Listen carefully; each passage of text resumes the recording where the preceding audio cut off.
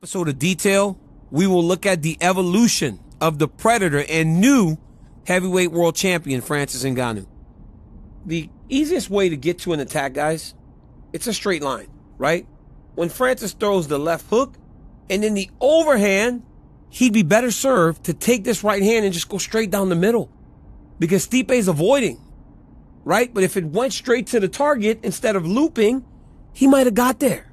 And in here, I think Miocic does a great job of head movement. But Francis is loading up. If Francis wasn't loading up, you don't miss so big. And so everybody made so much about him being tired.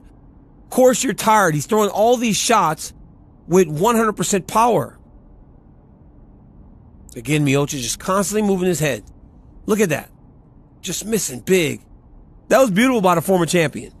But again, this is Francis loading up and not looking at his target and finding his shots. Beautiful job by Stipe Miocic. Crazy because in fight two, Francis was the one doing this type of stuff, never leaving his head and chest still.